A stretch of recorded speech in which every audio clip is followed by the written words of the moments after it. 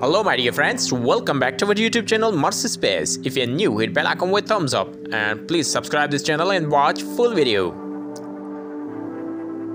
Here's the latest video of Mars from NASA's Mars rover Perseverance. Mars Perseverance rover searching sign of life on Mars surface and catching samples.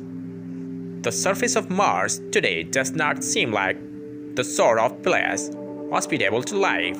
It's dry cold, plunging down as far as minus 220 degrees. The simultaneous detection of water, carbon dioxide and oxygen or ozone would be a strong indicator that the biological processes are occurring on the planet.